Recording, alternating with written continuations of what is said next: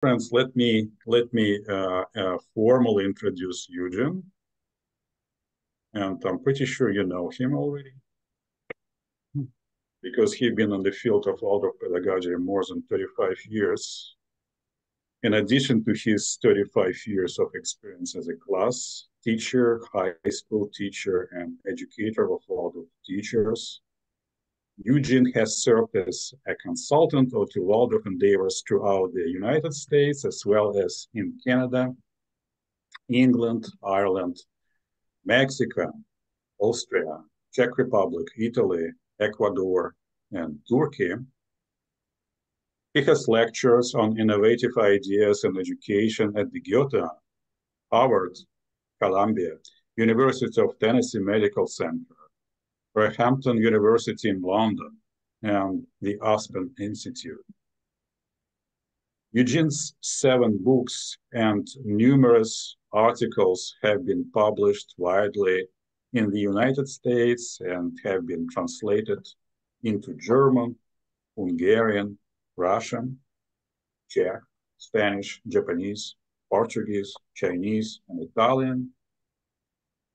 Over 50 of Eugene's lectures and uh, collections of student work, as well as many free downloadable resources are available at his website, iwaldorf.net. Eugene has also pioneered the development of the online conferences for grades from 1 to 8 that have been attended by thousands of Waldorf practitioners worldwide. What a biography. Um, Dear Eugene, thank you so much for joining us. Uh, and it's over to you. Dear friends, please uh, mute your machines during the lecture. You know, right? Okay, thank you so much. Dear Eugene, over to you. Thank you very much, Andre. Whenever I uh, see the audience being asked to mute their machines, I think, where was that possibility when I was a class teacher? That would have made life so much easier.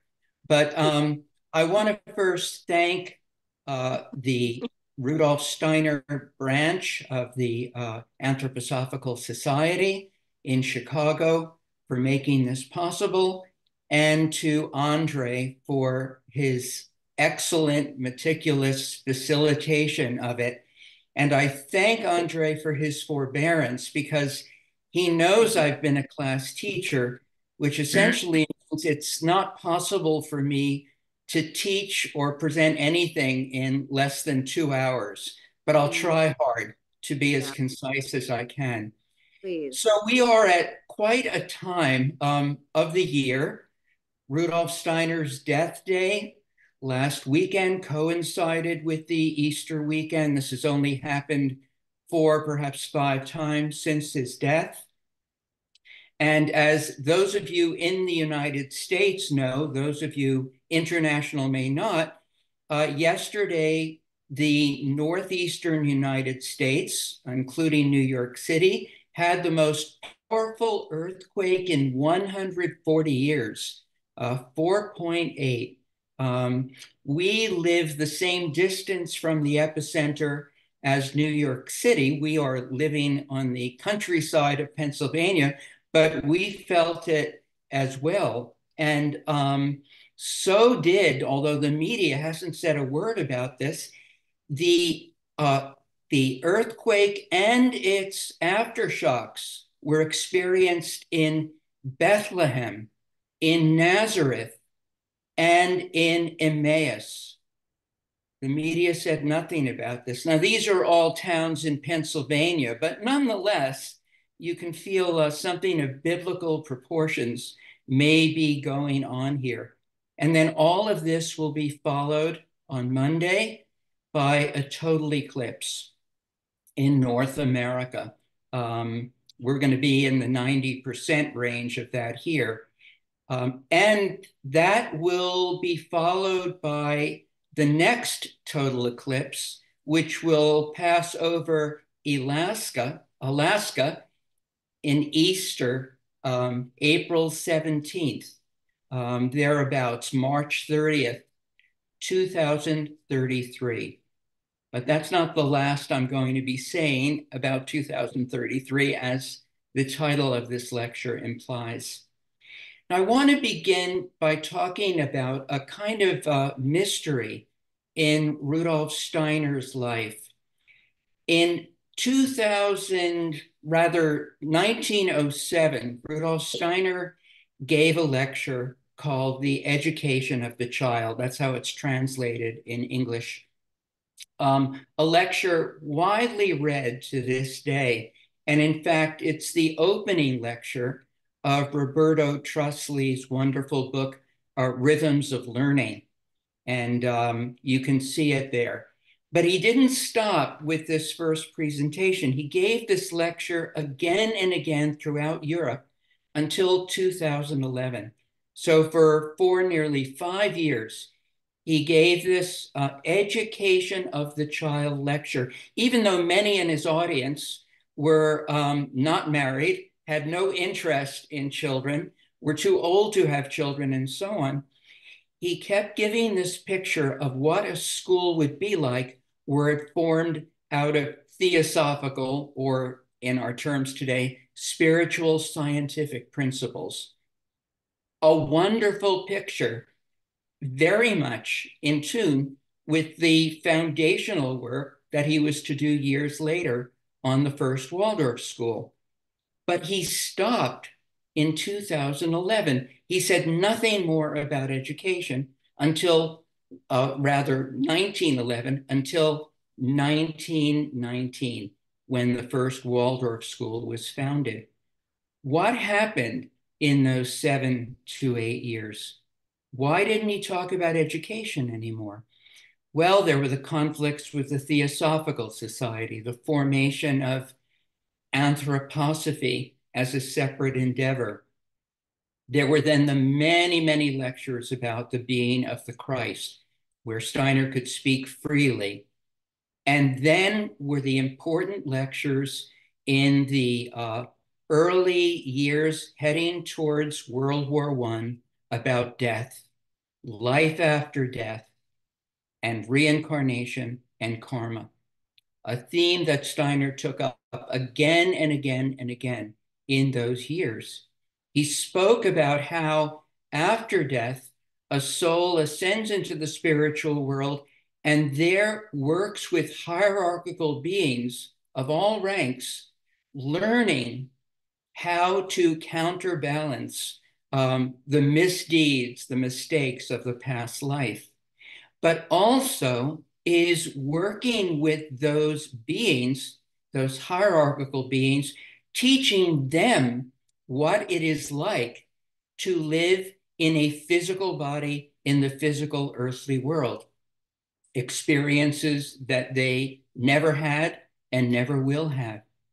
So it was from both ends a learning experience and an educational experience.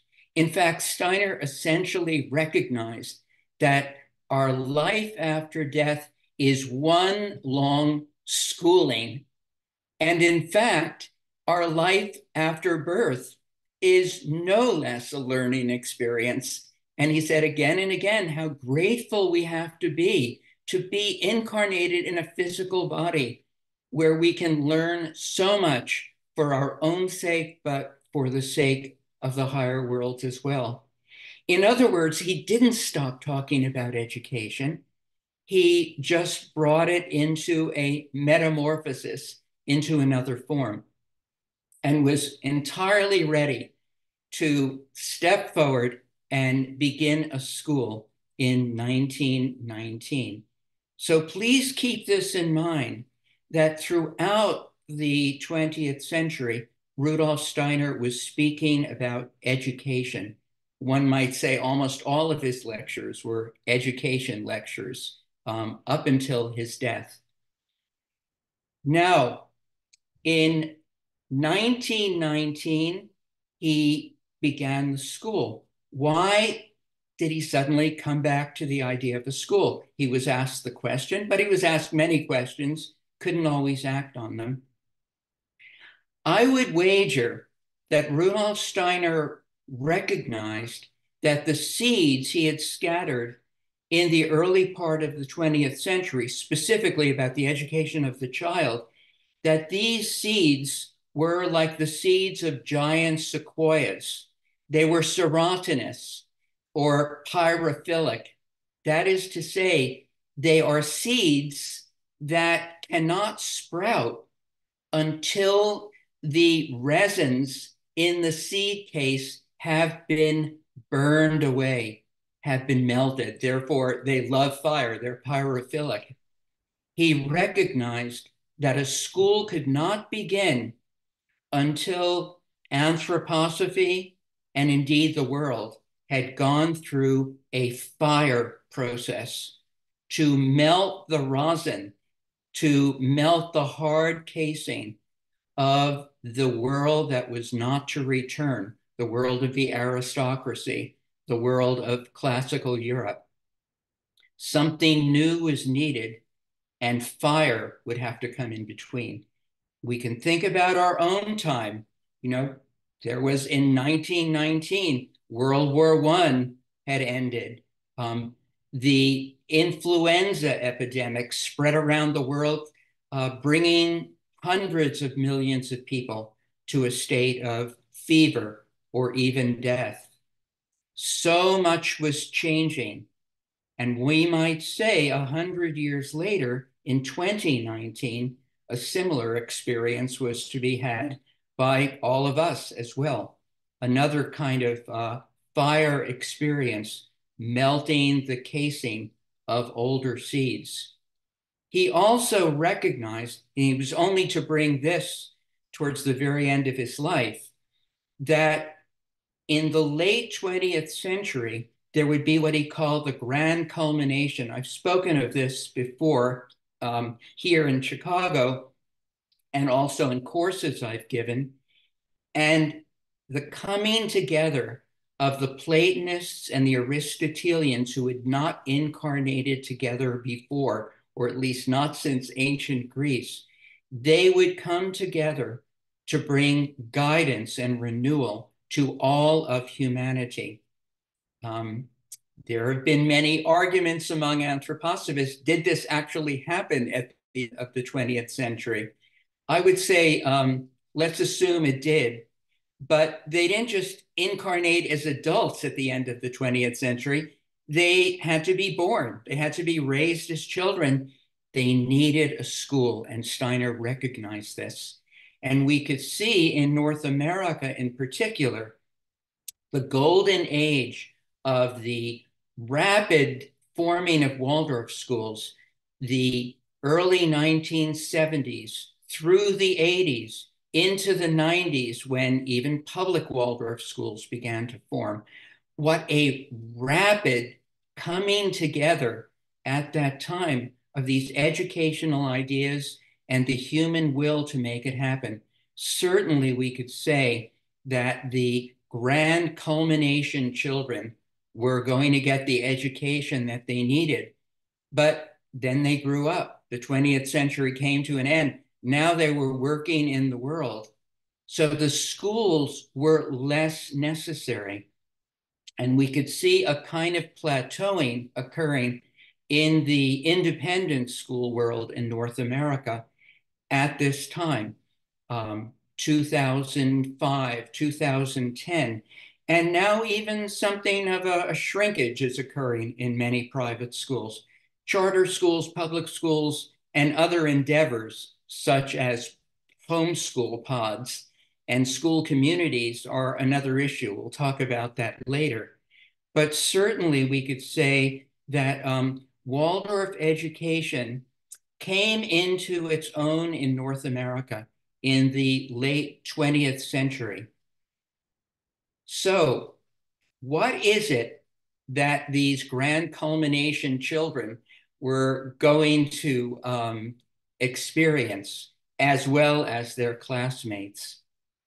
Let's look at the inner picture, the inner life of the Waldorf School classroom. And as a former class teacher, I'm going to be focusing on that realm, but it, it includes the whole school, of course, as well. We could say that when the teacher meets the child at the door, and shakes hand, shakes with hands with the child, that there's a, a kind of uh, rhythmic um, meeting of the adult and the child. Uh, there's a kind of priming of the pump of the child's rhythmical system as the hand is raised and lowered at about the, the heart domain. And we could also say that with this, the child's angel is awakened and meets the teacher as well. Then we light the candle, we say the verse, a kind of ritual is held. And here, the angels now start to awaken to one another's presence, making ready then the possibility of the children standing up, perhaps in a circle, perhaps not, holding hands, which is a task in itself worthy of a whole lecture, singing together, reciting together, moving together. Now the archangels are being invited into the room. The angels working with individual children, the archangels working where the children become social beings, group beings. And then the children are seated and they hear the story, the narrative, the expository presentation by the teacher, depending on the grade, and uh, later perhaps work on a form drawing. When they are seated, what happens in grade one, for example? What are the first words that the children hear the teacher speak as individuals, each in his or her own desk? They look up to the teacher, and the teacher says, Once upon a time. What does that exactly mean? Upon a time? Perhaps it should be once upon a time spirit, once upon an archon. This story was carried. So the children are now learning what has stood the test of time, what has passed through the trials of time, what the archai, who only touch the tip of their wing to a Waldorf classroom, what they are carrying. And it is these beings who are going to touch whatever little bit of flame is there in the child, the ego nature of the child. So the angels are meeting, as it were, the physical child, the child coming into his physical being. The archangels are meeting the etheric as it touches the astral, and the archai, the astral, touching in the slightest way the ego. So this is all part of the work of the Waldorf teacher out of his or her long preparation to make sure that all of this can happen as well as possible under the circumstances. And it should all be flowing out of the teacher, um, you know, not from notes or anything like that, the meeting of the teacher with the class. But I want to speak of another aspect of this experience, which is rarely discussed. And that is the fact that not only are the children learning, and as the expression goes, if you become a teacher by your students, you'll be taught. Not only are the teachers learning at that moment as they teach, but as in the spiritual world after death, spiritual hierarchical beings are also being taught. They too are learning from the children's experience of what the children are learning, they are having yet another experience of what it is like to be incarnated in the physical world, in a physical body, what it is like to have lived over time in one life after another, in the course of history, in the course of culture, in the course of knowledge, science, mathematics, whatever it might be. These spiritual beings are also learning. And indeed, not just learning, they are being nourished. by what is being brought to the children through the children. And I would go so far as to say, and if you were here last weekend um, to uh, view Florian Seidau's wonderful lecture on the Grail mysteries, what is going on in the Waldorf classroom, particularly in the grade school one through eight, is a reverse Grail ritual. That just as the Grail nourishes all human beings and gives them exactly what they need, so the well run Waldorf classroom is nourishing hierarchical beings. They are there for a festival, they are there for a celebration, they are there for their own ritual in which the human being whom they hold in such high esteem and meet with such hope, they can really experience what a learning experience is like for a human being. And this is definitely what has made Waldorf education so successful worldwide. But this, I would say, is also being threatened in our time. And this is what the subtitle of this lecture is speaking about the war, Waldorf at war. What is threatening the Waldorf school? What is making it harder and harder for this reverse grail ritual to occur? And above all, it is the caliber of the teacher that teachers are no longer carrying inwardly the conviction of the existence of the spiritual beings who are in their room. The room is filled with those beings, whether or not we know they are there. But to know they are there, to try to meet them through the children, sometimes teaching the children a little bit above their heads, literally and figuratively, and touching those angelic beings in particular in a very living way. This is becoming less and less possible. We'll speak about this in a moment. We might say that up until 1919 to 2019, for the first hundred years, a good deal of this happened almost automatically. The beings were there. But with that 100th anniversary of the Waldorf School founding, and now with the upcoming 100th anniversary of Rudolf Steiner's death next year, 2025, we are going to find these beings will not come unwelcomed, that the teacher will be the bridge in the way that Rudolf Steiner in the spiritual world has been the bridge up till now. And this is one of the most significant aspects of the 100th anniversary in 2025. Very profound changes are going to be occurring at that time. And we can see they are already happening now because there's no question that Waldorf education has changed profoundly um, in these last years.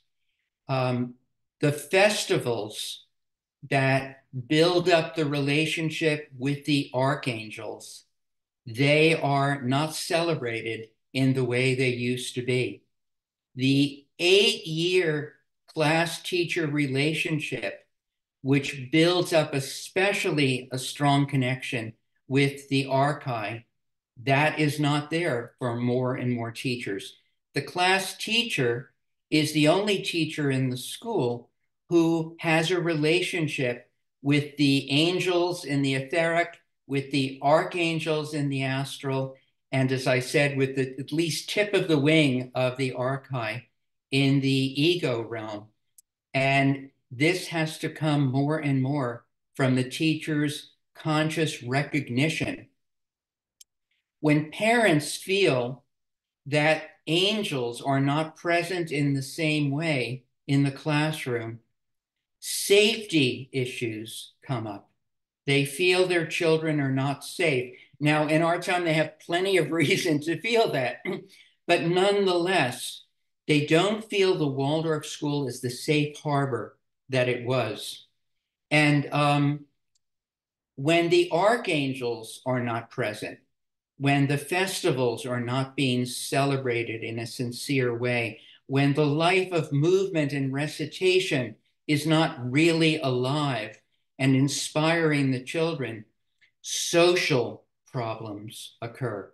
And the sense that my child doesn't feel included, the realm of inclusion, it becomes very strong when the archangels are, are not allowed to be present. And finally, when the archai are no longer invited into the room, parents feel, teachers feel this school is behind the times. We're still living in 1919. You know, we're we're in uh, that world of colonialism and so on.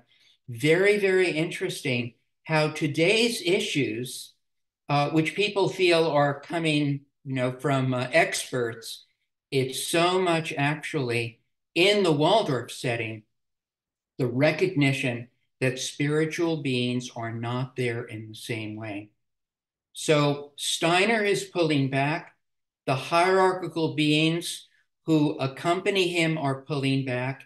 And now it is up to the teachers, individuals in their classroom, we hope with the support of their school, to try to bring these beings back but in a new way. And this is a very positive thing for teachers to be called upon to do. Now let's move from here to um, what I implied before, that these capacities are being undermined, actually.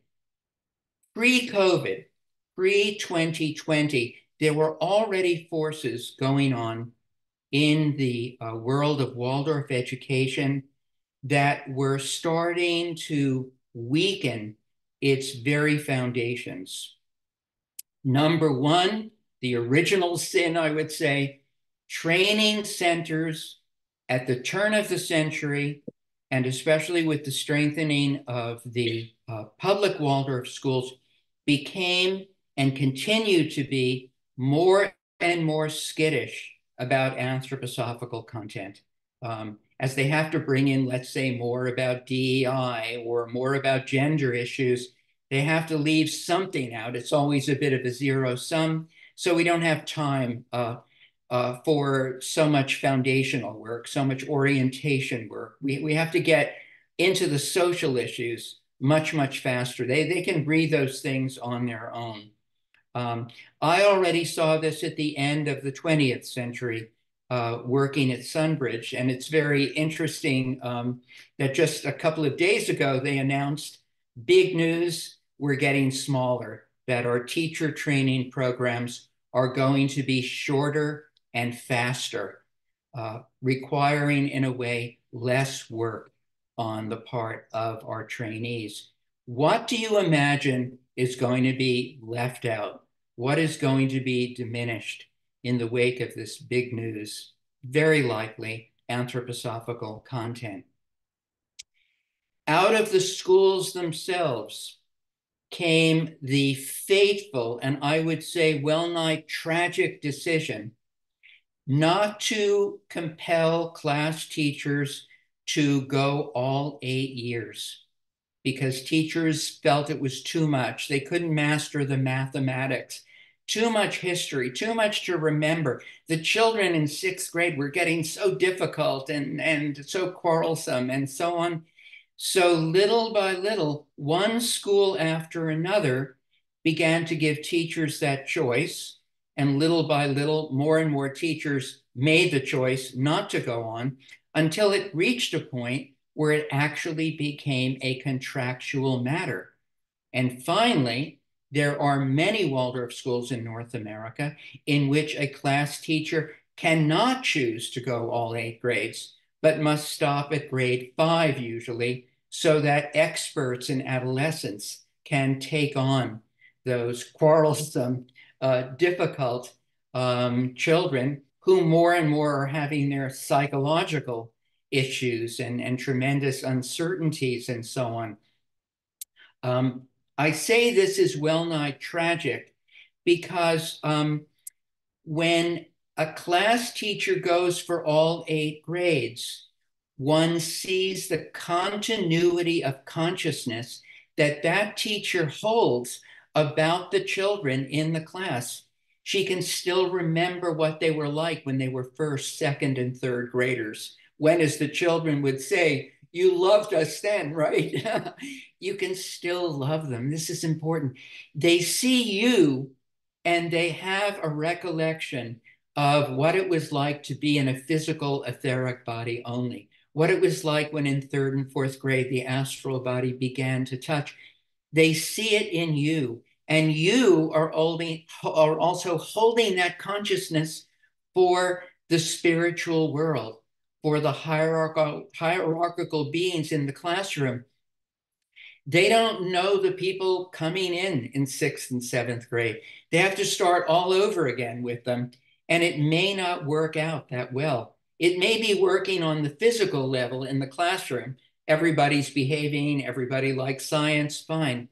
But it is not what Waldorf is really about, which is that meeting of the class teacher, the child, the parents, and the beings of the spiritual world.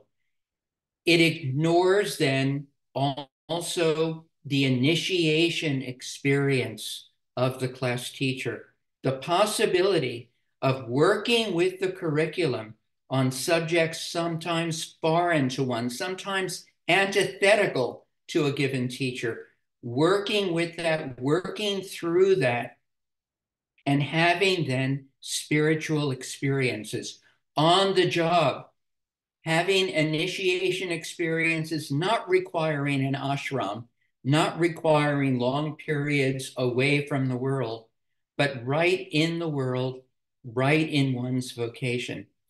Very difficult to happen in just five grades. There we need the seven, or even better, the eighth grade pattern to make that experience really come to life. It also weakens the class teachers as a group. It makes them less cohesive, less able to share the big picture of the growth of the whole child. And it is not surprising that some of the very biggest changes that have occurred in Waldorf schools over the last four years have occurred because the class teachers were not able to oppose those changes or modify them because they just weren't enough of a group. They didn't have that kind of political power in the school. Very, very important. The class teachers are no longer making the big decisions. This is shifted to the administrator. It shifted to the school psychologist, shifted to the school lawyer, and so on. So the class teacher cannot be the bridge to the spiritual world in the way they were 10 or certainly 20 years ago. And also, we have the weakening of the festivals which makes it more difficult for the archangels, the builders of the social life, the creators of true social justice. This is why there's the sense that Waldorf schools are deficient in social justice. Not because the curriculum makes that happen, not because the teachers are antisocial beings, but because the archangels are not being invited. And of this group of the four archangels who look after the festivals of the year, the one to whom Steiner draws our attention the most is, of course, the archangel Michael, who is himself becoming an archon. That is to say, he's moving from being a being of space and social life to being a being of time and historical dimension and the meaning of the greater picture of race, the universal human race. Of all the festivals, The one that's had its name changed in most Waldorf schools is Michaelmas. It is now called the Festival of Courage. Nothing wrong with courage, and Michael certainly inspires it, but um, you can have courage without needing Michael, but um, you can't have Michael without invoking his name and recognizing his being. So, the most important for us of all of the archangels, the one who is destined to take Earth evolution forward on his wings, he is the one who is being excluded, not even mentioned in the once upon a time Michael festival. And I want to mention on the chat, I've um, listed some courses that I've given in which I go more deeply into some of these questions. Um, one of them is called The Incredible Shrinking Class Teacher, which goes far more deeply into the consequences of shrinking that role. The other is called Michaelmas minus Michael, which goes again more deeply into the being of Michael in the past, the present, and the future. So you can see the URLs to get more information on, uh, on the chat list here. It's also very interesting that um, the Waldorf curriculum now is uh, becoming the villain and is being questioned and is being changed, often once again without consultation with groups of class teachers, but on high from uh, the ivory tower, from groups of academics and leaders in the Waldorf movement. I'll be saying a little more about that in a moment. And this is ironic because what is the fastest growing facet of education, especially primary um, and middle school education in the United States, growing faster than any other type? Christian classical curriculum schools. And those are schools that, though they often have uh, they can have a fundamentalist basis or at least a, a strong emphasis on um, belief in God and, and the Christian faith. Nonetheless, they work a great deal with the great writers, philosophers, and historians of ancient Greece and of ancient Rome. The very subjects that are starting to shrink, be diminished, or disappear entirely as the Waldorf curriculum gets reformed. So we are so going against the time. It's right out there, you know, as it were, in the education world headlines uh, that classical education is the way to go. And Waldorf has that and so much more. And that's what we're uh, tossing out with the bathwater. So this is pre-COVID. All of these things were underway. Now, what about since the year 2020? What's been going on there? Well, comply, comply, comply. The schools have to close um, because of COVID. Um, just do it, no questions. Now, research is beginning to show that perhaps schools maybe didn't really have to close after all, that perhaps it didn't really make that much difference for children in the way they got COVID or not, whether they lived through it or not. Um, these questions are quietly being posed a lot. But the Waldorf schools should have posed those questions loud and clear. But even when they wanted to, as individual schools, they were told by the leadership of the Association of Waldorf Schools of North America and its lawyers comply, shut your doors. This is the most important decision made in the 21st century about Waldorf education. And it was a decision not made by class teachers, not made by groups of teachers working together, meeting, perhaps trying to give some contemplative or even meditative attention to this issue. It happened in minutes. And with that also came then the uh, order, the law that Waldorf schools had to work with media. That suddenly schools that had opposed movies, television, uh, recorded music, and so on were now going to be working via screens with their children. And the children, the families that had signed contracts that they would never expose their child to the media, had to rip those contracts up and comply and go along. Once again, I heard from so many class teachers in tears, class teachers deeply discouraged, depressed to this day in some ways because of what they had to do and how they had to teach and how much of a backward step that really was. Once again, this did not really come from outside the movement. This came from our own association.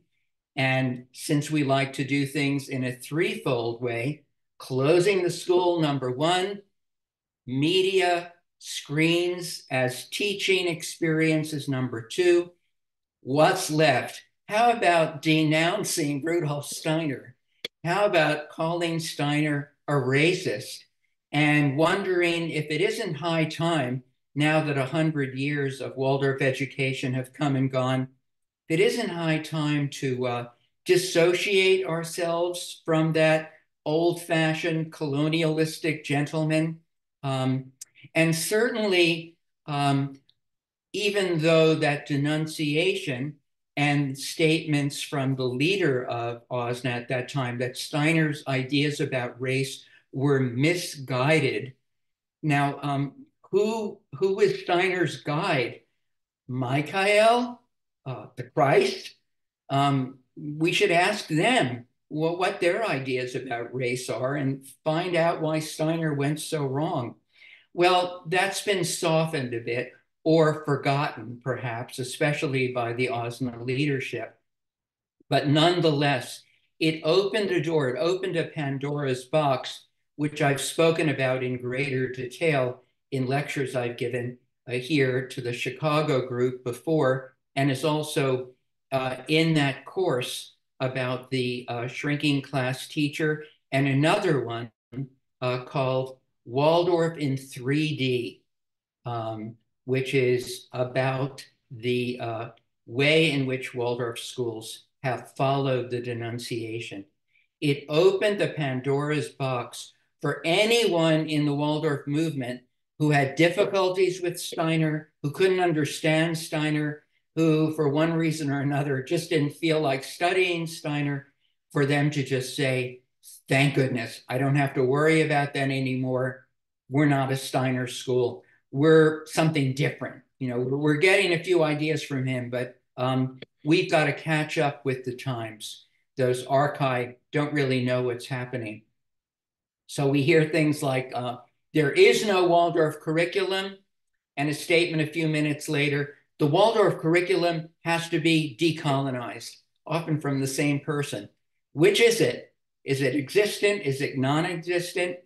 Um, and we have regulations in some cases, laws, particularly about LGBTQ children and how to work with them and work with their pronouns. We have tremendous pressures concerning diversity and inclusion and equity. Um, and teachers have to spend time, spend energy, spend emotional energy as well on trying to deal with the pressures um, from those social justice issues. And there again, something must be subtracted in our zero sum game. And what it is then is a deep understanding connection to anthroposophy, to what Rudolf Steiner really, really said and really meant. Interesting that these decisions were made in a kind of vacuum. Teachers were not in the school. when this denunciation occurred. Teachers were not meeting each other face to face or meeting the leaders of AWSNA face to face when it occurred. Um, and as I said earlier, the kind of grail experience, which can only occur fully in the physical classroom. It can occur online, but it's much, much more difficult and takes more energy than it's worth in certain respects. This also occurred at a time when schools were a vacuum. And out of this vacuum then came, when people came back to the classroom, big changes that perhaps they had been unaware of. One of the first and most dramatic changes was um, that Parsifal was dropped from the 11th grade curriculum from a number of leading Waldorf high schools. Parsifal, the story of the Grail. Interesting that that of all things was considered less worthwhile for high schoolers to study than the autobiography of Malcolm X. A fine book, worth the study for sure, in history, in current events, perhaps.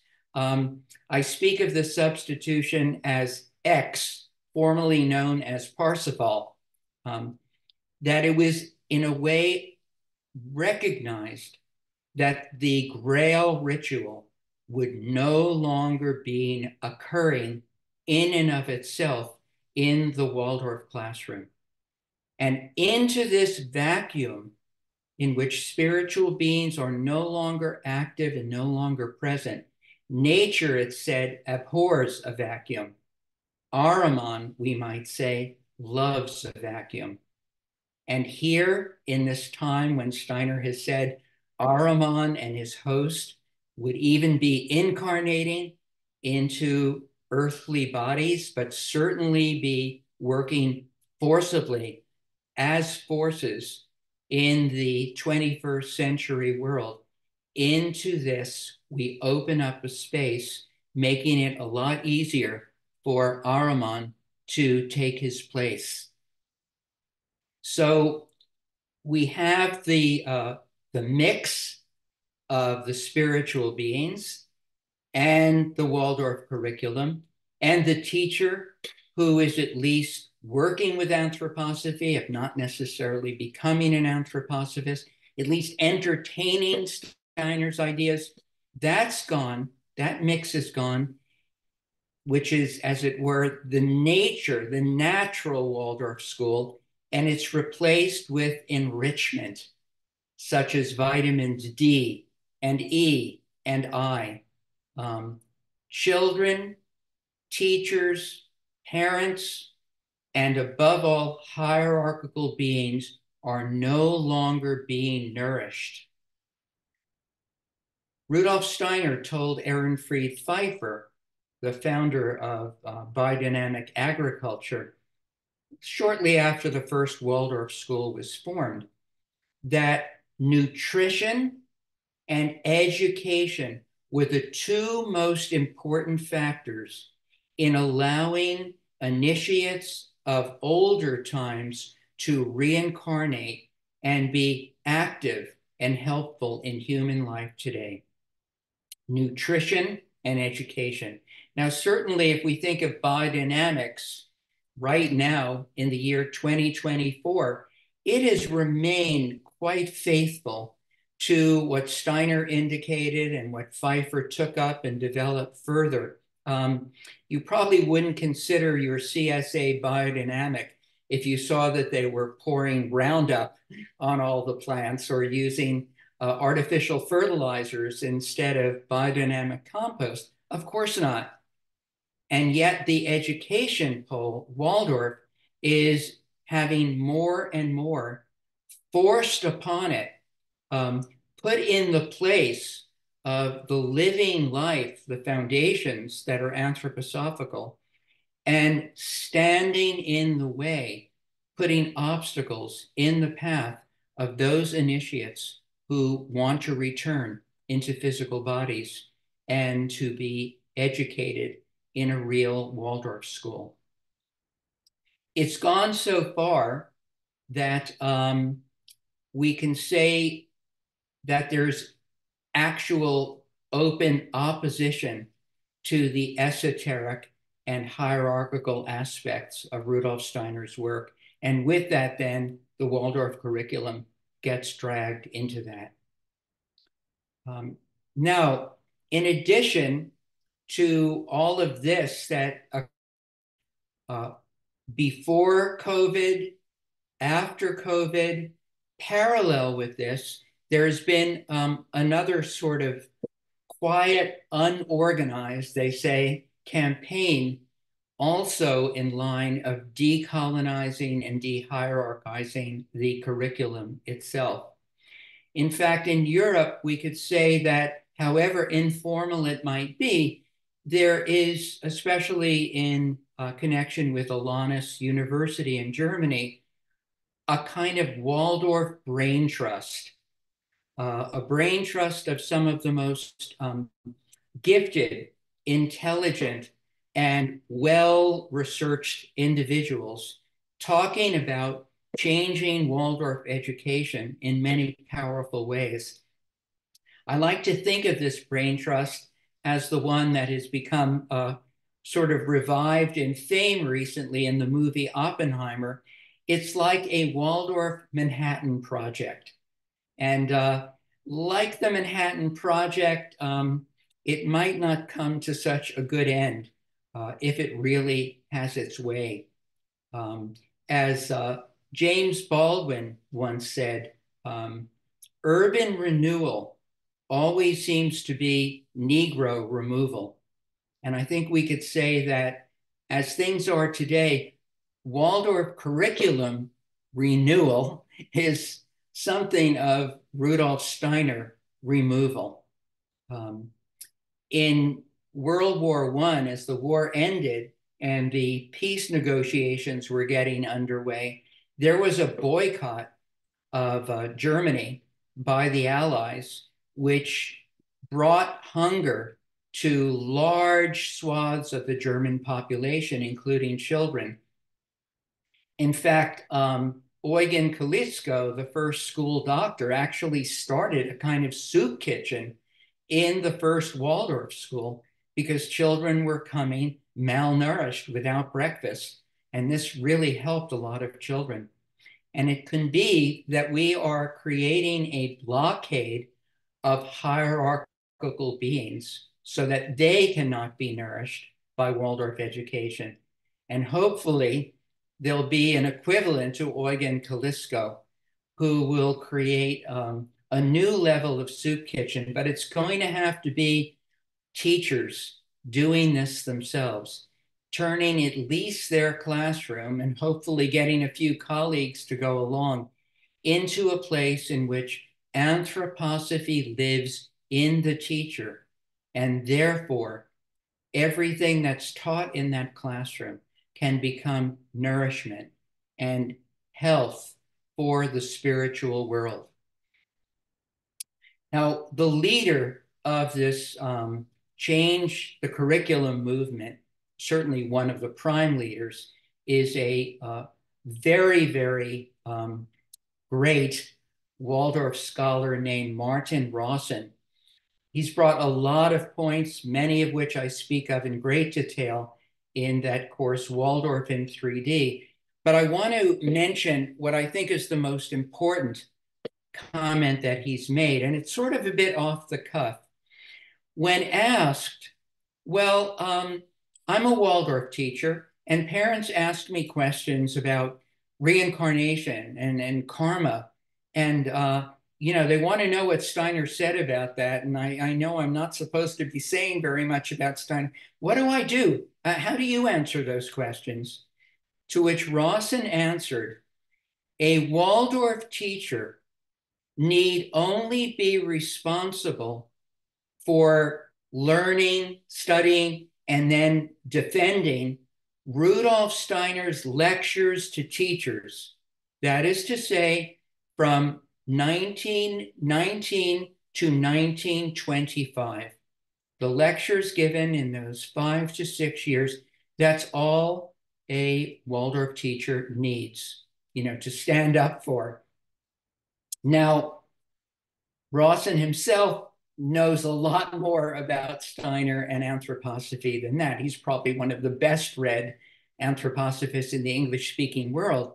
But it's again this Pandora's box effect that um, saying that opens the door for training centers in particular, or at least colleges of teachers saying, wow, that makes our life a lot easier.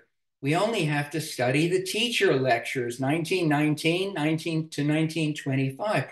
We don't have to worry about reincarnation, karma, the Christ being, the two Jesus children, the whatever, whatever, whatever, and on and on. Um, I'm not sure that Rawson meant you as a teacher shouldn't know that, but he's saying in his light, you shouldn't have to defend it. You shouldn't have to justify it. You shouldn't have to expect to be uh, an expert on it. But that's not what is happening.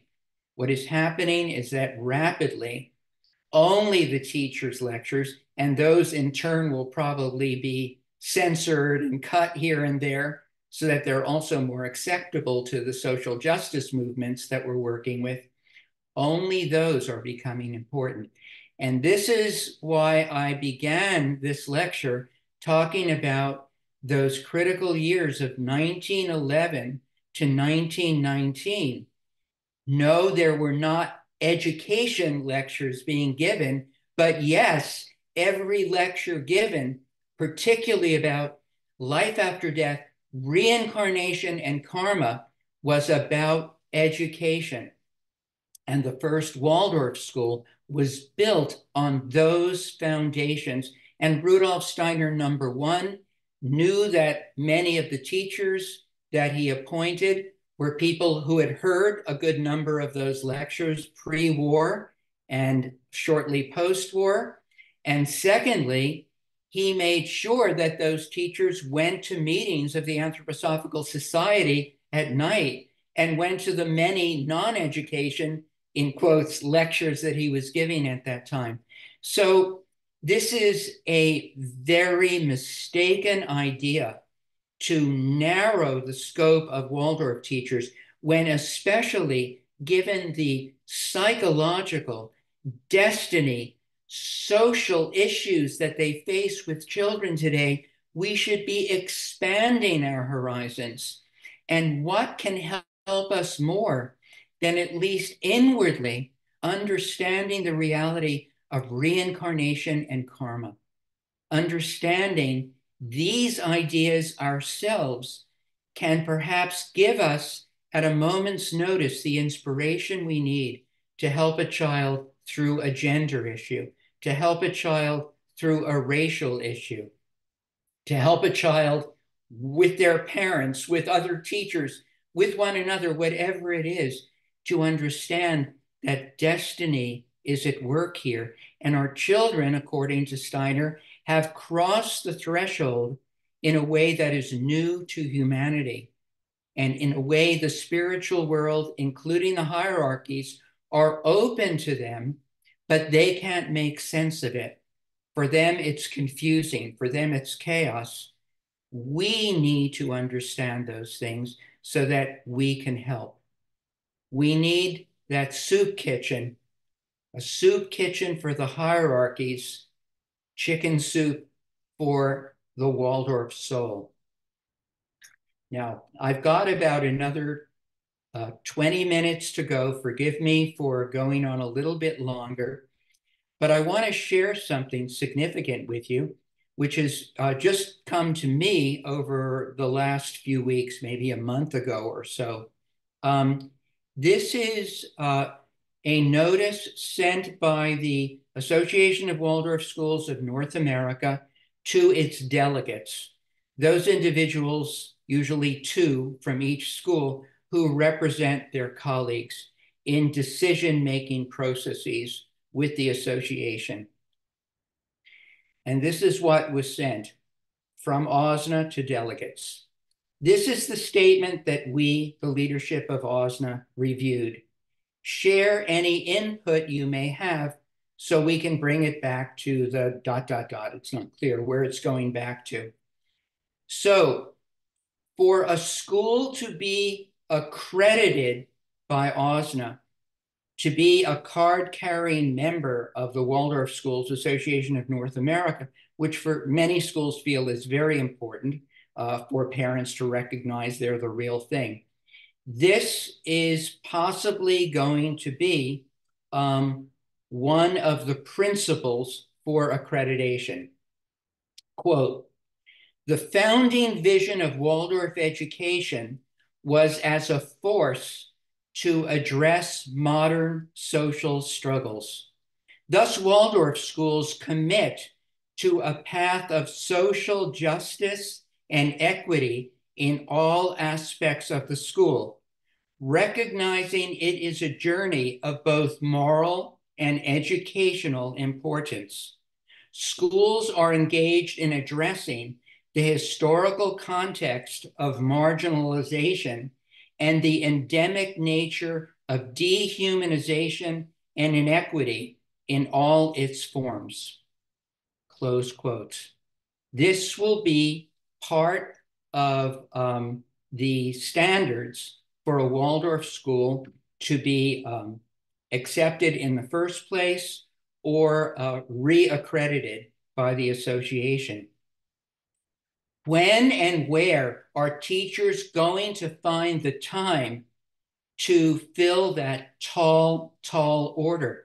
And what if a teacher doesn't agree that dehumanization is an endemic nature of humanity, or that uh, children need to learn about inequity from where? Grade one, kindergarten, uh, when they're in the mom and toddler programs and so on. These are powerful, powerful requirements, and they have to do not just with a matter of choice from your association, but whether you can be accredited or not. Very, very powerful. Okay, I'd like to suggest if this is inexorable, if the delegates will very likely just rubber stamp it, because again, the class teachers don't really have the kind of power themselves that they had in the past to work out of intelligence and to work out of thoughtfulness. Let's add another requirement. Quote, the unfolding of Waldorf education coincided with Rudolf Steiner's initiative for the threefold social order. Thus, Waldorf schools commit to deepen their understanding of the spheres of human rights, associative economics, and the free spiritual life in all aspects of the school, recognizing that these impulses are of world transformative significance. Schools are engaged in addressing their own efforts towards threefolding when was the last time, unquote, when was the last time that you heard threefolding mentioned in any context of Waldorf social justice, of, of Waldorf issues around gender and so on? It's gone, it's forgotten. Yet the threefold social impulse was absolutely parallel in time with the founding of the first Waldorf school. Steiner was speaking about generally every day, either meeting with the teachers or working with people on how to spread uh, threefolding and how to work with the political forces to make it happen and so on, often both at the same time. So important, so much a twin of Waldorf education and so totally gone. And I'd say here again, we have the working of Ahriman um, throwing issues in our way, blocking the path, um, smoke and mirrors of things that are going to come and go so that we don't see the contributions that Steiner made to the evolution of humanity which in turn can help the very DEI issues that are being raised, um, not necessarily out of a Marxist impulse, but out of an impulse that is connected to human beings and connected to our work with the spiritual world. I told you at the beginning of this lecture that we go back to the year um, 2033, back to the future. And uh, obviously, it's in the title of the lecture, so I, I really meant that. Uh, a year from now, in March of 2025, not only will um, we will be commemorating Rudolf Steiner's uh, death day, the 100th anniversary of that death, but this is also the time, um, early spring, when schools are choosing their new teachers. And first and foremost is the grade one class teacher. So they are soliciting applications or they are um, approving teachers who are already in the school who wish to take that step. So it's a very busy time, a very intense time right now in the life of schools. Um, so that means that whoever is chosen to be first grade teacher in the Waldorf school um, next year at this time is going to take a class, grade one, from 2025 to 2026. So that class will be there in the wake of, in, in the ripples of the 100th anniversary of Steiner's death. They'll be teaching grade two in the years 2026 to 2027. Grade three, in which they will be learning, the children and the teachers probably, the Hebrew scriptures of great interest to spiritual beings. Grade three, 2027 to 2028. Grade four, Norse myths, um, geometrical uh, work and form drawing in 2028 to 2029. Grade five, from the autumn of 2029 to the autumn of, uh, rather the um, uh, June of 2030. In that year, they will be teaching the pre-Christian cultural epochs. What else is going on in the year 2030? It is the 2000th anniversary, two millennia from the baptism in the Jordan. And the Waldorf class teacher will be teaching about the gods, goddesses, human beings, philosophers, artists, and so on, who were laying the foundations in Greece in particular for that baptism. And when that baptism is occurring, the year 2030 to 31, that will be grade six, in which the children are learning Roman history, Jesus as history, the Middle Ages, the so called Age of Faith, we might say, monasteries, castles, knights and monks, Anno Domini, in grade six as the anniversary of the baptism in the Jordan continues. Grade seven, hopefully they can keep going. They go on. Grade six, seven, and eight, one teacher with, we hope, anthroposophical thoughts in mind. Grade seven, 2031 to 2032. Christian art in the Renaissance the figure of the painter Raphael. Joan of Arc, very likely as well, earlier.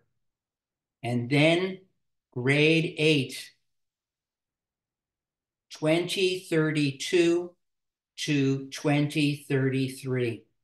The children come into the modern world via a whole lot of warfare and struggle but awakening, a new kind of consciousness is being born as these children learn about the world from the 17th through the 20th centuries, or perhaps even our own.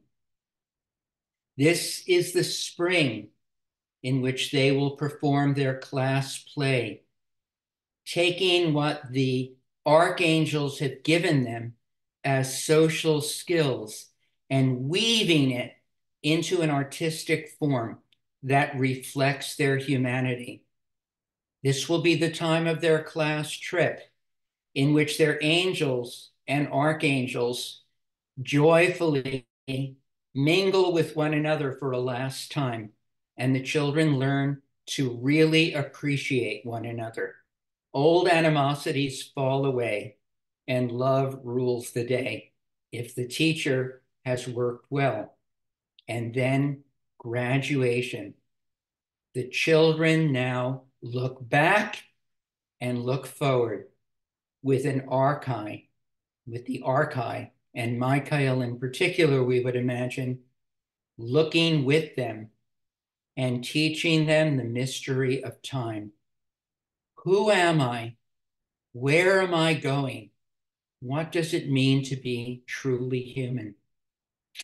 If we have the right teacher, the children in these years in particular, 2025 to 2033, will have a curriculum that is all about recapitulating Christ's journey to the earth and his incarnation.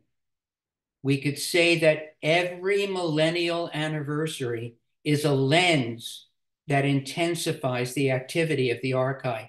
An anniversary of a hundredth year, a, a centennial, this emphasizes the work of the archangels. And we could see all the 100th anniversaries we've had about the daughter movements in the uh, past few years. Um, how wonderful they are, how they draw us together socially. But a thousand year, a millennial anniversary that is exponentially greater in power and in possibility. There, the archai get involved more deeply. And we might say, in this time, in these next years, Michael will be taking another huge step forward, a kind of quantum leap, perhaps, into his new role as an archai and be a leader then of humanity on a new level.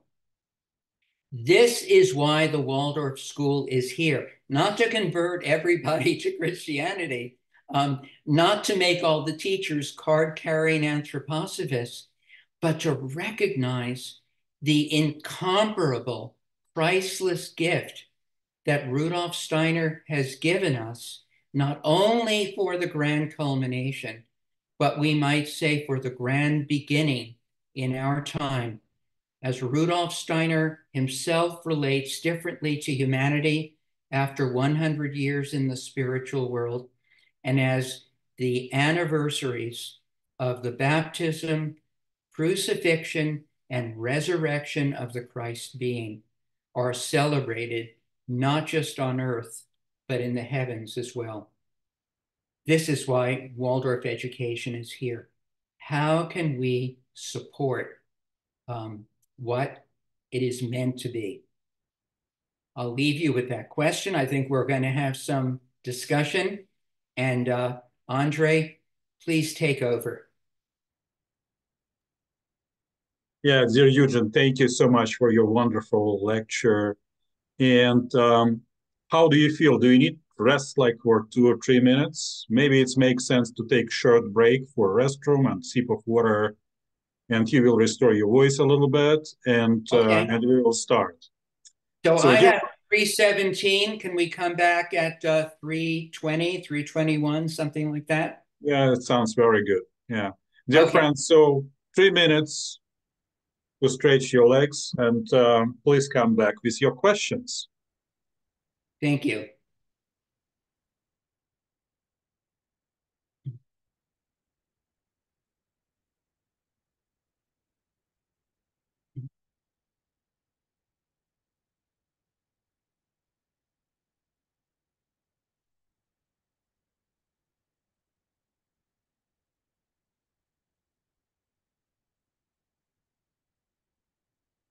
Mm.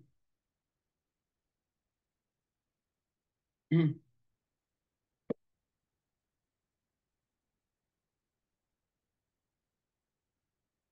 Mm.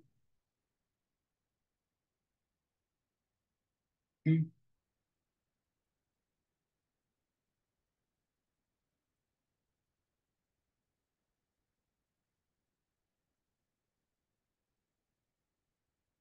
Mm.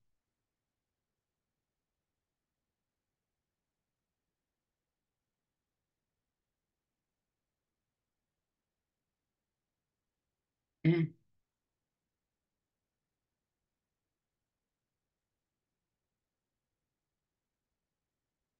مم.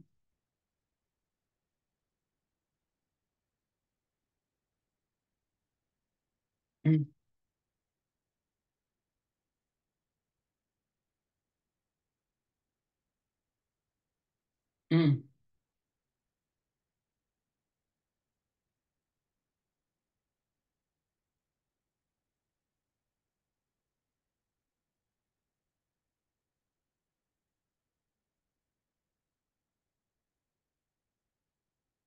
Mm. Mm.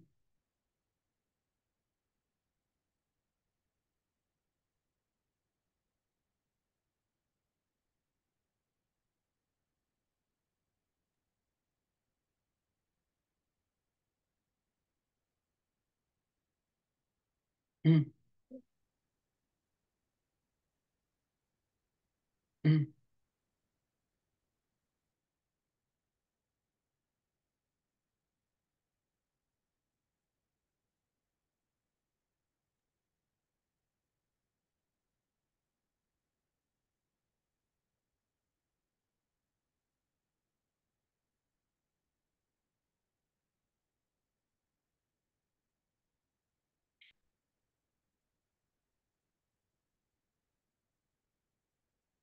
Mm.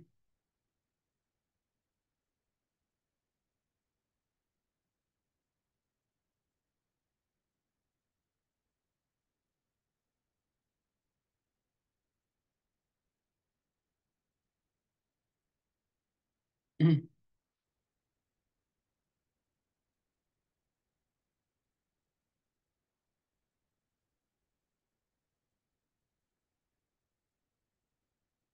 Mm. Eugene, are you reading chat? I am ready. Yeah, you're ready. So, okay. I'm re- yes, I'm reading. Uh, no, I, I'm reading the chats. Yes, I am. Some very good ones. I'll try to, uh, you know, answer some people who who wrote questions, but there are so many. I think there are sixty some odd chats or something like that. Well, Yeah. But, well, uh, I mean, for for this particular lecture, I don't think we will have any limitation. I mean, so Okay. you setting time because I have it set Saturday. Um, I'm yeah, I'm I'm happy to uh, keep going for a while as my voice holds out. let's see, it's still 156 people online, and uh, looks like we're gonna have um, pretty intense session. Okay. So, dear friends, we are back. We are back, um, and uh, let's make arrangements. Uh, how? Um, uh, yes, I mean, if you will put your cursor arrow in the bottom of your screen, it's um, it's a button reactions. Yeah, did you do it? And So- Andre, I'll let you I'll let you choose the uh, the pe- the Okay. people. Oh, you will run the session. Okay, I'm good. So just you know, this electronic hands they helping just you know uh, have uh, questions in chronological order, so people will have a kind of line. Okay. So, but it's up to you. Yeah, go ahead. How people will just okay. It's uh, John Beck is first, or Okay, Eugene, John you Beck. I just want to mention before I answer uh, John's uh, question or the statement he wants to make, somebody said, where are the resources that I mentioned? They're right at the top of the chat, and they're supposed to be visible to everyone. Uh, meeting group chat will appear and they'll appear in the meeting group. So I just give resources. Um, a, a, a, course called The Incredible Shrinking Class Teacher and uh, an information link where you can learn more. Waldorf in 3D. Uh, I also give uh, the information page for that. More on the Archangel Michael, Michaelmas minus Michael, and the information link for that. And for those interested in gender and identity, some of you brought this as a question in the chat. Gender and Identity, The Dilemma of the Divided Soul, with its link. So that should help. Okay, John, please go. Well, Eugene, it's great to hear you again. I've heard you give Thank so you. many wonderful lectures at the New York branch, and it's delightful that you are going strong and taking on issues Thank of the you. moment. And I guess I just want to say I also sent around a report from 2033 a year and a half ago. It's, you know, your vision is so important. Mm-hmm. And I also hear some things which which may be more comfortable for me uh, than for you, but I hear some things that you're really putting to us as challenges. I think DEI can be um, re-inhabited by the spirit of threefolding and transformed out of Waldorf schools into what it should be. I think the same is true of, you know, questions of identity and gender and so forth. These are actually pointing right at the Christ. So I think you raised a thing which I would hope the general section would come to life and join with the pedagogical section and all of these amazing Waldorf teachers and parents and graduates and take on these challenges. But thank you for raising them so eloquently. Thank you, John. And I quite agree. As I said, um, I'm assuming that something about DEI is going to appear in that accreditation document. And the question is okay, let's then add something that can balance it and that can bring it back into uh, anthroposophy and Rudolf Steiner. And let's look again at threefold, which is so neglected by the Waldorf movement. Biodynamic farms, medical offices of anthroposophical doctors pay much more attention um, to the threefold aspects than schools do. So thank you for bringing that up, John. And thank you for your incredible work on behalf of Steiner, especially in the publication realm. Okay, Tom McGuire, you are next. Thank you. Um, I've uh, been an anthroposophist for about 50 years. I've been a father uh, to children of color for about that long too. Uh, I'm having a hard time. Uh, well, let me, let me just say the thing that sold me on anthroposophy 50 years ago was Steiner saying in Knowledge of the Higher Worlds, don't believe anything I say just because I say it, but believe it only when it rings true in your heart.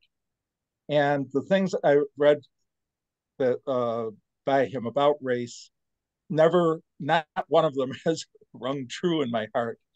Uh, although I have tried to defend these things in the past, I've co- uh, came to realize years ago I can't defend them. Now you mentioned uh, Mr. Rawson in your talk. Yes. What he's done is a wise thing. He's said he's not taking ownership of some of the things that Steiner said, or he, or he said that teachers should yeah. not. Teachers should just take ownership of, of the teaching things and don't take ownership of the entire thing. I think that is quite wise. I don't think it's necessary to denounce Steiner, but rather to do the wise thing and not accept these things that he says. And I've continued reading Steiner, trying to find things that, that he says that would ameliorate what, what he said about race. And I just keep running into worse and worse things. And the word war, I think, is another mistake. Parents who are concerned about race, race and that's affected in the schools are not our enemies. They're parents who want to know that their children are safe, that their children, whether they are children of color or white children who are concerned about people of color, they should not have to confront a lot of race bias within the school. Another problem is that there are teachers who also do not understand what Steiner is saying about race. And they have their own biases that they sometimes demonstrate, thinking that they're working out of anthroposophy, and that's that's that's a, a huge problem. Over here. Oh, I, am gonna I'll, I'll, I'll end with that. Uh, I'm being interrupted. I'm being interrupted oh, here, but I'll I'll end with that. okay, thank you, Tom. You're bringing up very central issues the reason that I'm using the word war is not because I feel that parents are there with their uh, pitchforks and torches at the door. Um, sometimes I felt that way, but by and large, no, no, no. And I am deeply concerned that Waldorf really take responsibility for better work, more transparency with parents, a whole range of things for sure. The enemy I'm speaking about is Ahriman and Ahriman's host that Waldorf schools, because of their central importance for this bridge between the human being and the spiritual world, that they are, in a way, and because especially that the spiritual beings are working so closely or have been with us, that this is where Ahriman and his host are certainly going to gather. And as I said, it's not so much the statements that have been made, like Rudolf Steiner made 52 racist statements, one might say, in terms of today's consciousness and our standards, let's say that's the case. But it's what it opens in the Waldorf movement when that is all that people hear. And for those who struggle with Steiner, and I think all of us struggle with him in one way or another, he sets the bar very high. It becomes um, a pretext not a conscious, shrewd pretext, but often an unconscious one as a way of being able to reject everything else Steiner had to say, except maybe for the beeswax crayons or the children singing together. And this is what I'm concerned about. If this is going to be part of the Waldorf curriculum, if this, this is going to be a big part of what teachers need to study, and it won't be the end, DEI and concerns about gender are just the beginning. There'll be a whole long litany of social causes and sexual causes and so on. That'll all come. If the Waldorf movement has to take up each one and make that the center of its attention and hire consultants and bring in experts and so on, if the trainings have to get the teachers ready to be able to go to schools that are concerned about all of this and little else Waldorf education is not going to be unique anymore. It's going to mm. basically be like a nice private school, liberal mode of education. I have nothing against public private schools. I have nothing against liberals, but it won't be what is unique about Waldorf, which requires that spiritual foundation of the teachers and the capacity for the teacher to go through those eight grades. That's the heart, that is the core. And that is what is most under attack, uh, I'd say, by Ahriman, because it is so central. Because if the teacher understands reincarnation and karma, then we can help the child find their way into the body they have chosen, whatever color that body may be, whatever social class it comes from, and head further into the future in that body with gratitude and understanding how much they are learning. So let me just give an answer there. Please feel free to join that Waldorf in 3D course where I go into much greater detail and actually do a textual analysis of a working paper by Martin Rawson and point out the assumptions that he makes, which are not necessarily correct. Okay, I'll stop there, though you and I could go on and talk forever, I'm sure. Thank you for the Thank question. you. Kelly Corson. I am a teacher and work in some, have been working in some schools where the administration leadership is pretty, um, they're the ones in charge, kind of like what you're saying. I, we don't have a teachers group that really, um, gets to be consulted with.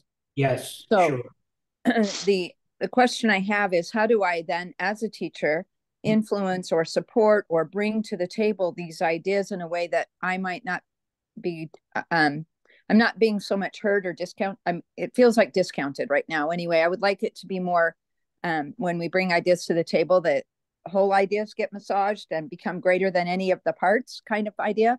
But right now, I'm just finding that many of the leaders or the administration, and please, this is not accusing or pointing fingers. I really want to work with them.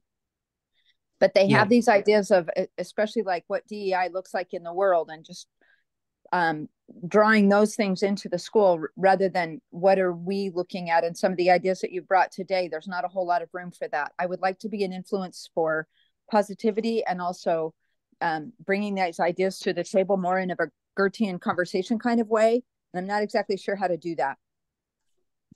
Well, it's uh, I, I've been smiling a bit, not because I'm amused by this at all. It's a very serious point, and it's something I think you're speaking on behalf of quite a few, especially independent Waldorf schools nowadays. Um, recently, when one of these social justice issues came up, a teacher told me that she suggested to the school uh, administrator well, why don't you ask Eugene Schwartz to do an online course with us? You know, do an online professional development day um, to talk about some of these issues.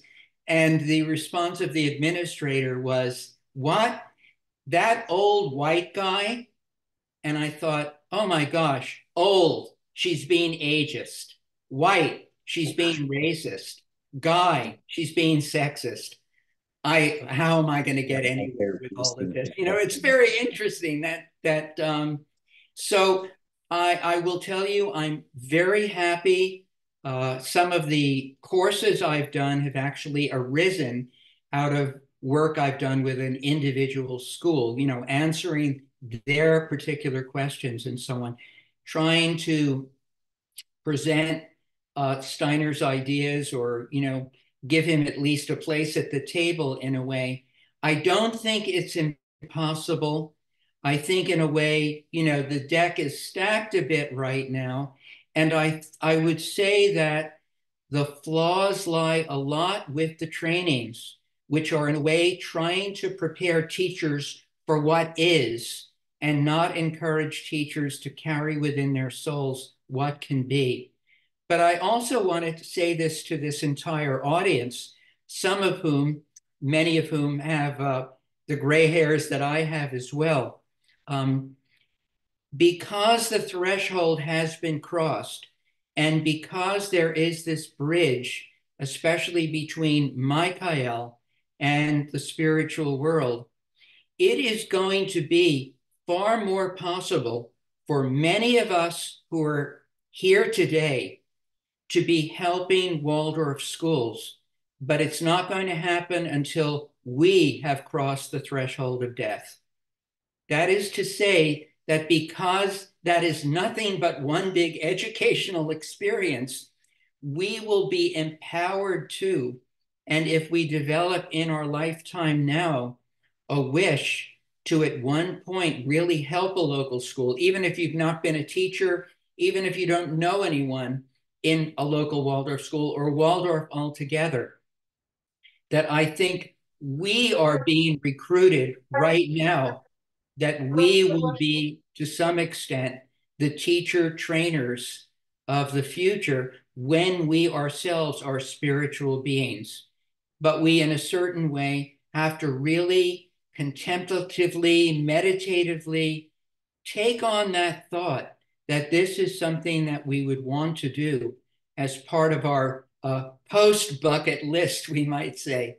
And I think probably this is the greatest hope that we have that the unborn and the uh, past birth and uh, those who've crossed the dead, the death, as um, they used to say about uh, why Floridians couldn't have Waldorf schools, because everybody here is um, newly wed or nearly dead. Um, that's where the new hope for Waldorf education is going to occur. So you could see why Steiner was preparing everybody to understand death and rebirth and reincarnation. And then he brought Waldorf education because in the end, we have to all be working together. So thank you for that question. I hope that helps. And uh, I'm, I'm willing to, you know, give it a try if your school were interested. Thank you.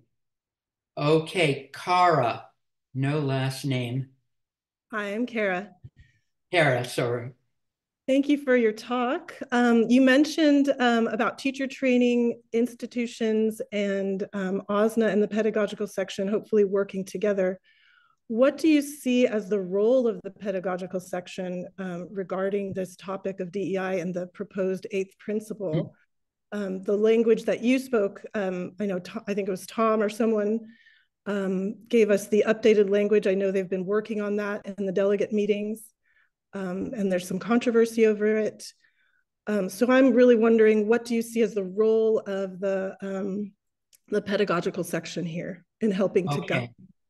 I that's a very good question, very very important, and you could see that I've not mentioned um, that group at all in my thoughts about the future.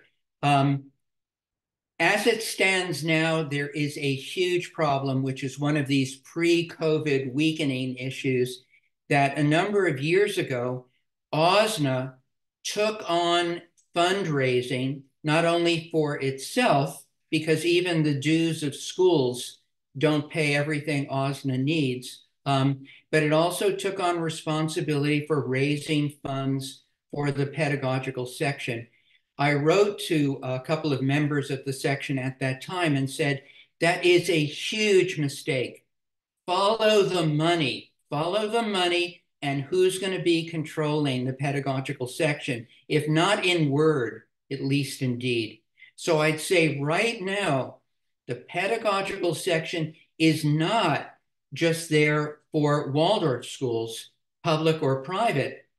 It is meant to serve education in the world, um, in North America, at least for this particular section, no matter if the school is a mainstream public school or a Quaker school or a Waldorf school. And being so intimately connected to AWSNA um, makes this very, very difficult. I can also say that, yes, I'm aware that within the pedagogical section itself, there are those who for years have wanted Waldorf schools to be more activist in their relationship, especially to people of color and to racial issues, and now also interested in uh, those with, with gender issues.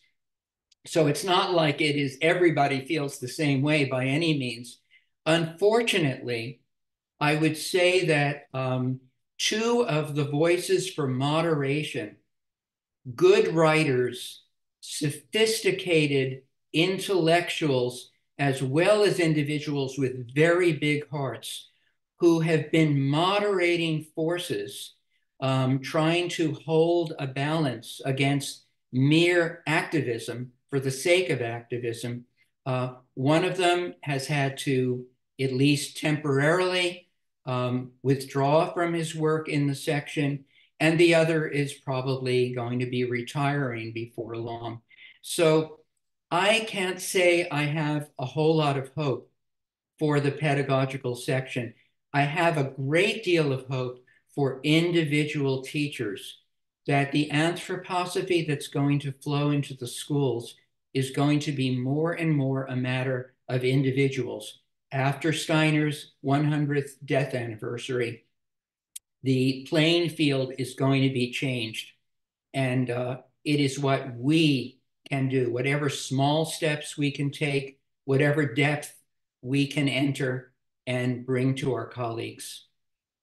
So thank you for that question. I don't, I think there are a lot of people in the Waldorf movement who would not agree with a word I just said about the pedagogical section. But above all, look at this fundraising issue. And I think you will see something that so hobbles the uh, the section, and it should not be there. It should not be that way.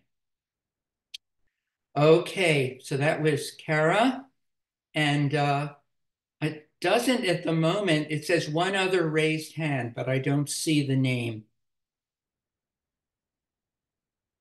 So uh, if someone else could raise their hand, or if we're done. Yeah, there is there is hand Celeste.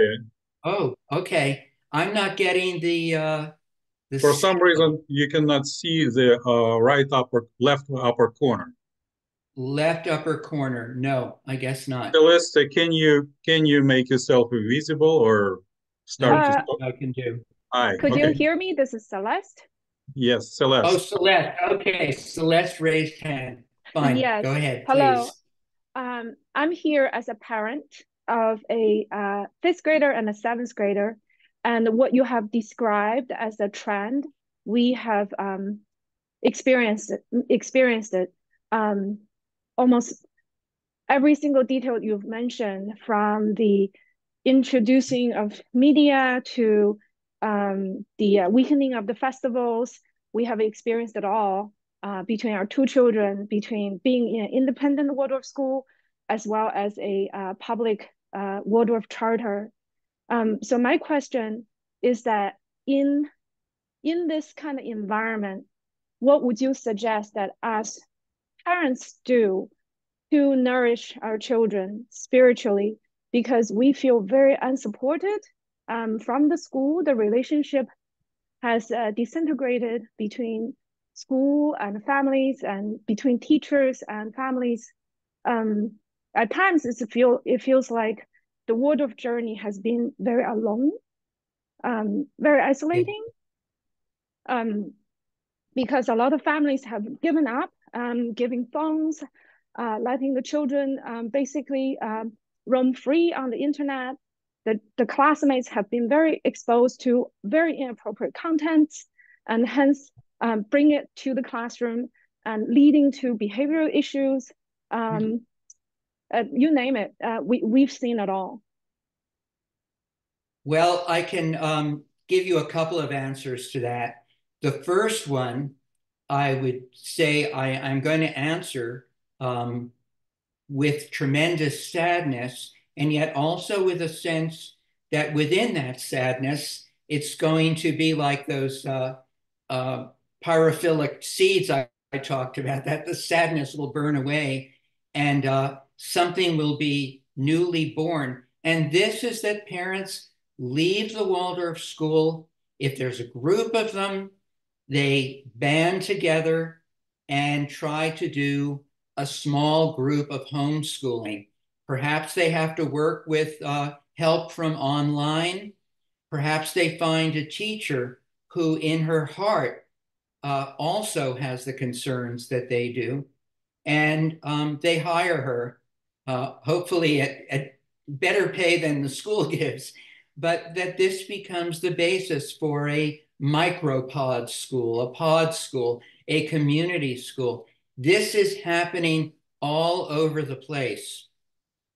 And I think that on the one hand, uh, I should be ashamed of myself as a, an experienced teacher of decades, uh, you know, who's represented Waldorf education worldwide, who's lectured at schools worldwide, to say, you know, throw the bums out, leave them.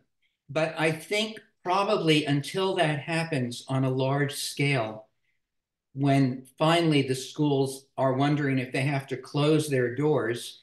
And in fact, uh, one couple here who were involved were involved with such a school and have started um, one of these pods recognize this can and will happen.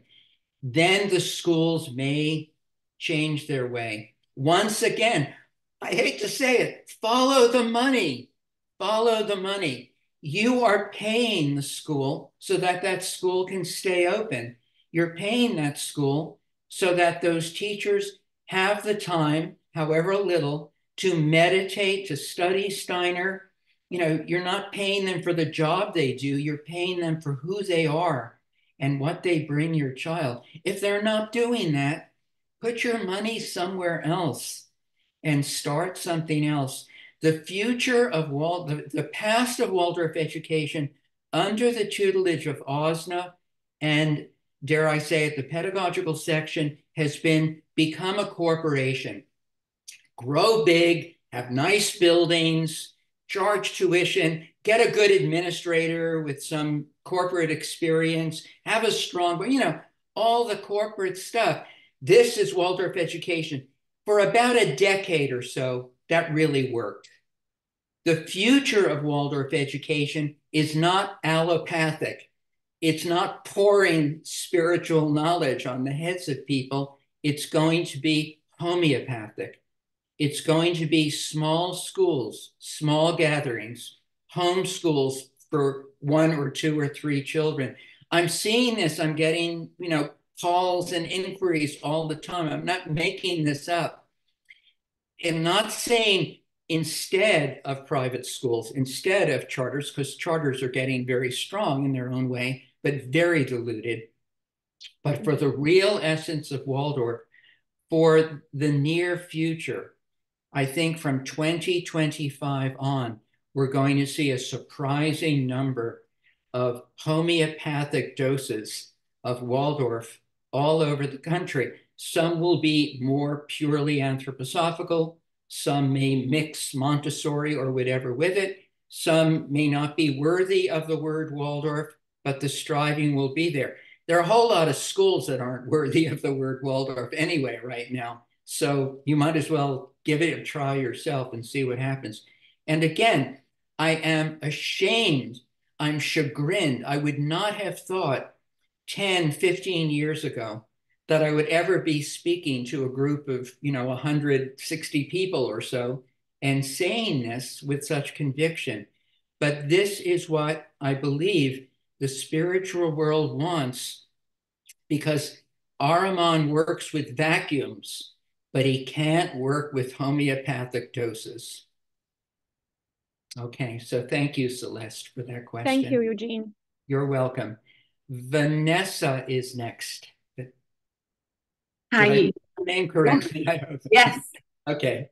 I'm from Mexico and um, I've been working here in the States for now almost two years and I've really enjoyed it. But my question was pertaining what you mentioned, and it connects with what you just answered, Celeste. Um, if you're doing a homeschool project, and I see all of these, like you're saying, these initiatives rising and growing, and especially in Latin America, where to raise funds to create some of these projects is very costly. So we normally start small and start growing. Um, but when you're talking about how we call on all these hierarch- hierarchical, my words, all these spiritual beings. Um, yes.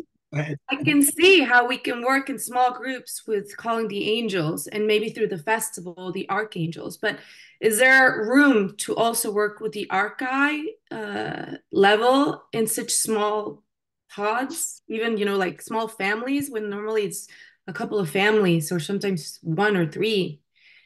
The, can we do that if we're working such a small group setting? Very, very good question. Yes, size does not matter. Intensity matters, seriousness matters. In his lifetime, Steiner again and again scolded his closest followers. I mean, people who, you know, stand at the pantheon of those we regard as the pioneers of anthroposophy. And, uh, you know, and they said, you know, why are we being attacked like this? Why are there such problems? And he said, um, how how seriously did you meditate last night? Uh, well, I it was I was you know very busy, and you had told me to do. Don't blame me. Um, it's we have it. Humanity has crossed the threshold. The spiritual world is not gravitating around great leaders anymore. In a way, Steiner was the end of that phase. They are here for us and um, Michael will guide us to the archai because Michael is finding his own way. He's been promoted, he's in training. And sometimes he's left on his own to see how well he does. so this is why Steiner is so intent on talking about Michael. And this is why Michaelmas is when the school year begins, because Michael is the bridge. So, you know, study Steiner's Michael imagination, study, understand why his last lectures, his letters to members were about Michael. And I would say again, for us, the study of reincarnation and karma. Now, Vanessa, you're too young to have to worry about that as an immediate measure, but um, reincarnation and karma, we might say, is the mantle in which we can wrap the Waldorf School and heal its illnesses and help it move forward. It's not so much the direct things Steiner said about education. If you're a teacher, you should know all that. But it's the very things that Martyn Rawson said don't study. And a speaker at the Alliance Conference in um, 2022 uh, said exactly the same thing, uh, told the teachers, when people come to you and say, I can tell you about the hierarchies and, you know, I, I know the esoteric secrets of Waldorf education. Tell them to go away. Don't listen. You don't need that. Public school teachers should have nothing to do with that. So this is where Rawson's words go, you know, one step removed. Imagine where that will go from the Alliance Conference into the schools. You know, taxpayers' money should not be going to the study of anthroposophy and so on. So um, we, in a way, really have to find our own direction. And um, no matter how small, that will help. All thank right. I just want to say thank you. And it's so, it's You're welcome. for the soul to hear someone brave saying what many feel and think. So thank you for your courage and your wisdom. You're very welcome. And remember, I don't have a job, so I can be very courageous. So many, and this especially in the leadership of the Waldorf movement, people love their titles. They love the flights they get across the country for all the important meetings. They love their stipend or salary. They're afraid of retribution, you know. So sometimes people will speak to me but say, don't you dare quote me. Um, so don't feel alone either. But um, the money, the title, the prestige, and so on, this is sometimes more than a person can sacrifice. Um, Upton Sinclair once said, there are some things very difficult to understand, especially when you're paid not to understand them. And I think that the state of anthroposophy and uh, the Waldorf world is a bit like that. So thank you. Leon, Leon Davis, you are next, I believe. Well, on that thought, I want to bring back a word you mentioned toward the beginning comply. Mm-hmm. It seems like all these people are working to comply. there's a wider in, environment here, political environment. Just consider how the present administration of this country is introducing DEI into every agency in the government. And look how wonderful they're working. Um, we need to get a bigger picture in terms of the society, I think. We're, we're, we're well, I don't know, maybe most of us are liberals and we're we're Democrats and so on, and we're trying to work with the, these people.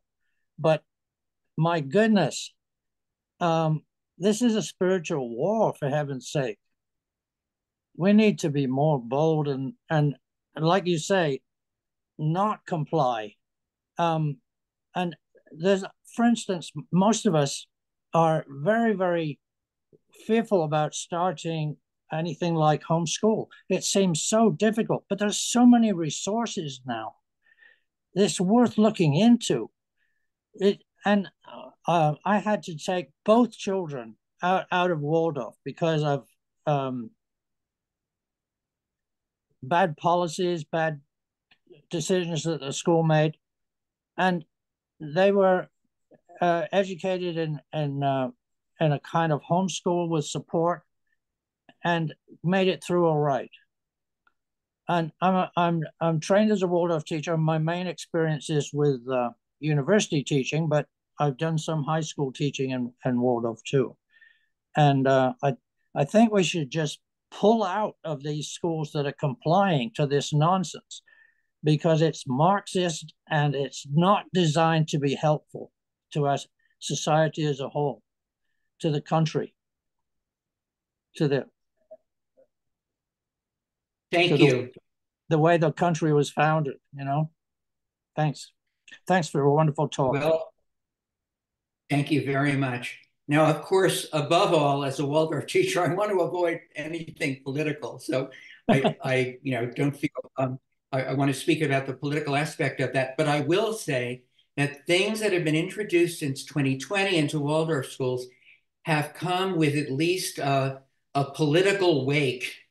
And um, Waldorf schools have been finding themselves getting engaged in politics to an extent that are totally inappropriate. Whether DEI is God's gift to humanity or is a Marxist plot or whatever is less important than the fact that either way, it's going to have political ramifications and people will judge one another, not necessarily on their aptitude as a teacher, but on how racist or how unracist they are. Yeah. Um, you know, how, how homophobic, how homophilic they are and so on. And we have enough complications with Waldorf teachers getting along and trying to work together. Um, it's very, very difficult to add all of that. Once again, thinking about uh, we want to get political, threefold social order, and so on. That's a, a much friendlier and uh, warm-hearted way of, of if you really want to feel follow a political path to help Waldorf education. So um, thank you. Thanks for that question.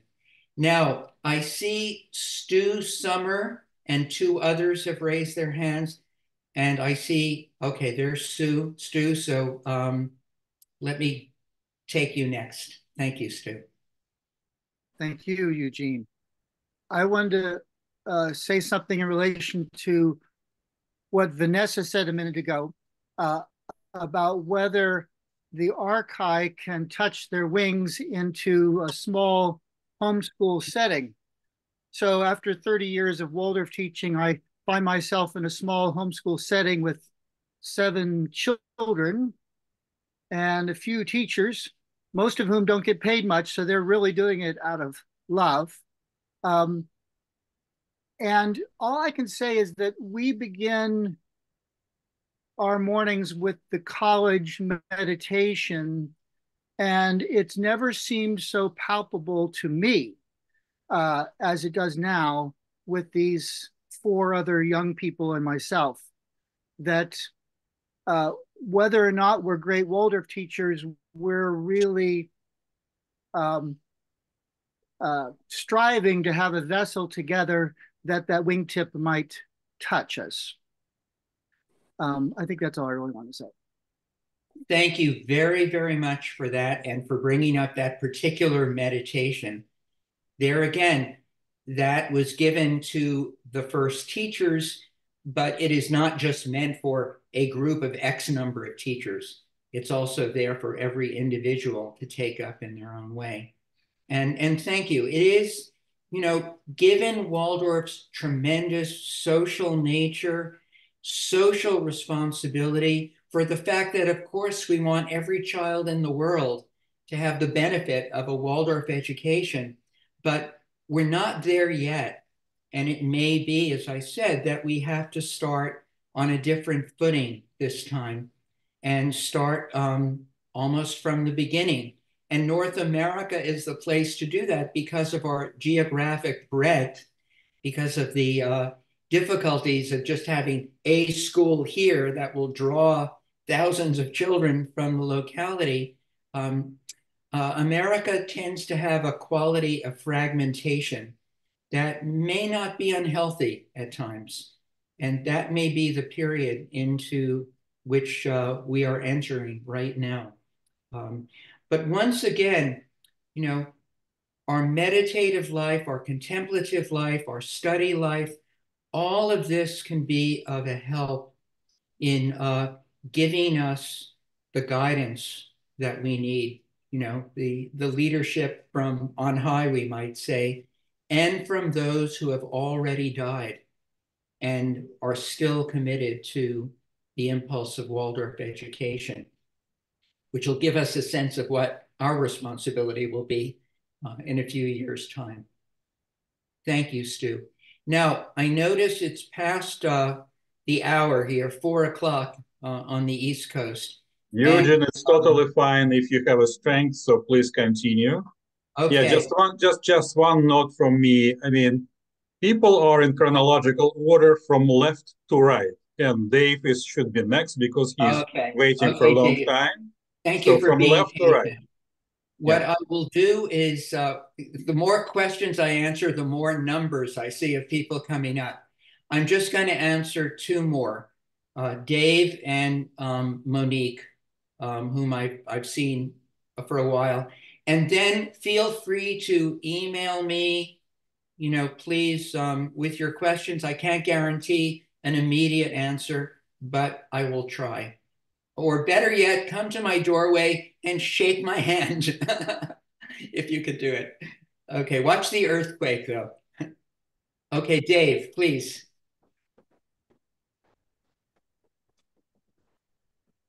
Dave, unmute, unmute your machine, please. You are muted. So sorry about that. Thank you, uh, okay. Eugene. It's a wonderful reacquaintance with you. I sir, I, I trained in the second summer teacher training. We had ice cream together. and and I'll tell you, I've been following this the Waldorf my whole life since you know my 30s when I was introduced to it. I studied all the way anthroposophy before I went into teaching, and as a games teacher for quite a while. This is uh, an ancillary question, but the role of the subjects teachers would be much appreciated. But the other thing I wanted to do is give a plug to your proposal. Don't know how much progress it's made, but in your last lecture to us as elders, that it would be wonderful for us to understand we are serving in a new role. I'm experiencing that role because I talk to old people a lot now, and that wasn't the case. I've, I've got grandchildren now, but but recently, it seems like everybody has these uh, existential questions on their mind far more than they have in the past. And those questions have lived with me for longer than, than uh, most, I think, because I've worked with anthroposophy and Steiner long enough to understand that he's not a racist, understanding that's probably the cheapest shot we have in our in our bank is to just say that and then all of a sudden discussion ends and it's so distressing for me to see discussion end because when discussion end ends, that's when war starts. So, you know, hopefully we're not on the brink of complete mayhem or chaos, but your words are always resonate with me. And I want to let you know that um, I support that initiative to try and get, if, there's anything I can contribute to getting that initiative, you know, rolling. Um, old people have tremendous insight and some of them have remained blind. But when you touch with someone with experience and you share that experience, they come around because they, you know, we, we were all hippies at one time. Thank you very much. Thank you for your comments. Okay, now I see Erin is next, and then Monique, and then I promise I will be done. Please.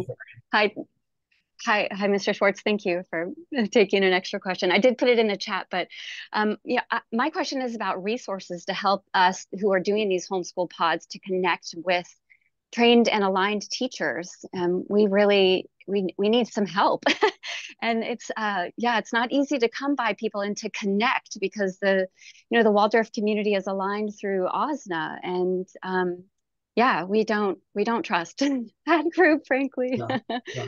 But, we but we need the connections. Well, um, I can suggest to you, uh, and it's not uh, entirely impartial, um, I offer the online conferences for grades one through eight every summer. A lot of homeschoolers have been taking those. It's all online, it's all asynchronous. Get 14 days for a given grade with double, triple, quadruple the hours that are given in a five day conference in a training center, training institute. And uh, it's there's a lot of anthroposophy in it. And it's become, alas, kind of unique in that regard these days. And it's helpful for, you know, all teachers. Uh, we have a lot of Alliance teachers joining us still, even though the Alliance is offering its own summer trainings and homeschoolers. There are groups like Christopherus, led by a woman named Donna Simmons, um, give excellent help to uh, especially um, in the younger grades. Um, she herself is a Waldorf graduate from years back. There is Jamie York, Jamie York Press, Jamie York uh, Online, who does work particularly in mathematics, so he's adding other things. And his great strength, I've seen him as a teacher at the Shining Mountain Waldorf School in Boulder years back he is fantastic with older kids. He's fantastic. He's a brilliant mathematician, but unlike many a brilliant mathematician, he's great at teaching kids who aren't brilliant, who are struggling. He's gifted in that. So there's some help. You know, it's, as I said, it's fragmented, it's scattered. I don't know if we want a big association of Waldorf homeschoolers because right away there'll be the rules and regulations and so on. It may be better to allow the chaos to be there, to let destiny find who's going to help you, who's going to be, who's going to stay, and so on.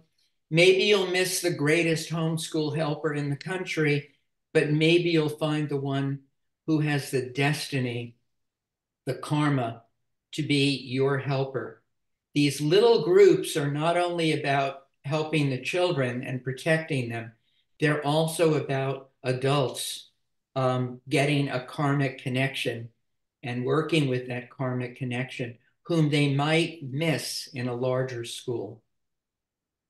Okay. All right. Last but not least, Monique. Okay. So I have a question that piggybacks on Aaron's because my background was is a class teacher but when my children were born we found ourselves in the unfortunate situation where we did not live near a waldorf school so i started homeschooling my children 10 years ago thinking it was a bit sad and now i couldn't i think it was such a blessing for my children. My question is now that my children are getting into high school and i also work with i also support homeschool families through a charter um, and so it's just a homeschool charter but just a little note on that. We opened our enrollment six days ago and we have 2200 families interested. We can only accept maybe 800 children but that's just the the the need for homeschool in our area we're just blown away. But that being said, now my children and the children I support, we have done Waldorf homeschool pods through the years, which has been wonderful. There was always a part of me that was sad, but now more and more I realize it was a gift. Um, especially listening to you, which has been really heartening for me to hear you say these things. Uh, my question is as we move into high school, and I still have children that I support and my own children, how I know there's Jamie York, but you know, my background is as, as a class teacher, first through eighth grade. Do you have any recommendations on how to support children moving into high school because it gets to be more challenging? We can do community college courses, but to keep that, and anthroposophy is very important to me. Um, Steiner's work to keep that spirit into high school. Do you have any recommendations as we move into that? phase? Well, I, I can recommend the first ever online course for homeschoolers, which is called um, uh, History Through Drama. And that is a full uh, course given to a ninth for ninth graders. A parent can sit and watch and uh, give the assignments, which I, well, I say I, Eugene Schwartz, uh, it's, it's my course. There's a teacher's guide of 15,000 words about how to work with it. And there are, I forget, 20 or 25 main lessons that I give, full length main lesson presentations from uh, ancient mysteries in Egypt up to Thornton Wilder's screenplays in the 20th century. A lot about technical changes in theaters, electrical lights and pulleys and uh, round circular stages. It's a whole realm for ninth graders. It's been taken by a lot of students.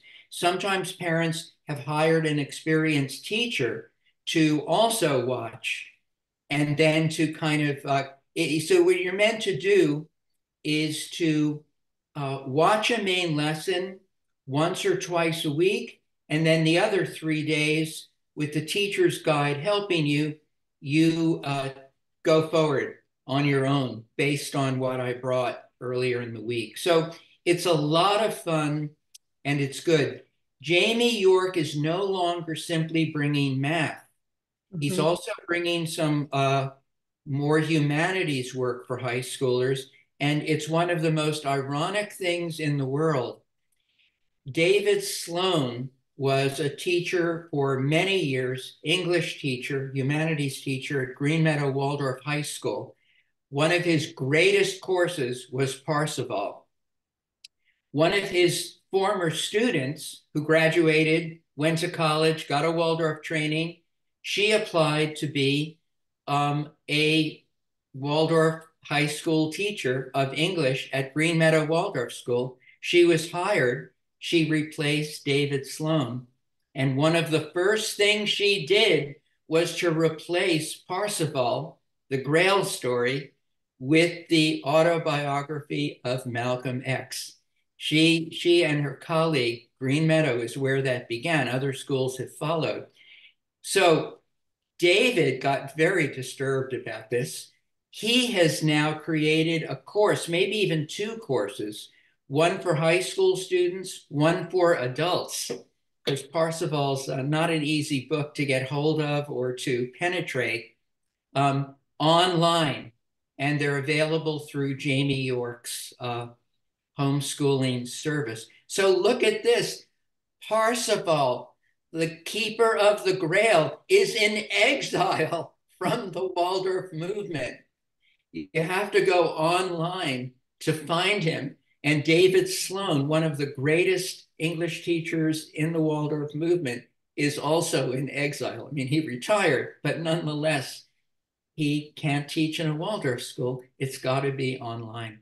So this is another direction in which Waldorf education is very likely, sad to say, to go, but it's a whole lot better than often what's going on live. Okay, everybody. um, I'm not done in what I could be saying and answering questions, but um, I'm afraid my physical body may be done for the moment. Thank you all so much for coming. Thank you for those intrepid dear friends here who stayed on for the questions as well. And uh, I hope we all get to meet, if not in the flesh, at least in the spirit at some time in the future. And uh, thank you for your care and concern and love of Waldorf education and anthroposophy. Thanks, Andre. Thank you. Dear, dear Eugene, thank you so much for your wonderful lecture. And in the future, please do not hesitate to contact me and we will arrange more of your presentation. okay, oh, yes, please. yeah. And do, you know, look at my website, iwaldorf.net. Very simple. You'll see lists of courses. You'll see descriptions of the conferences. Lots of free resources, you know, 100 hours of, of stuff there. So please feel free to take advantage of that. Thank yeah. you all, and very Thank you so much for Ascension and Pentecost. Goodbye. Thank you. Thank you. Thank you so much again.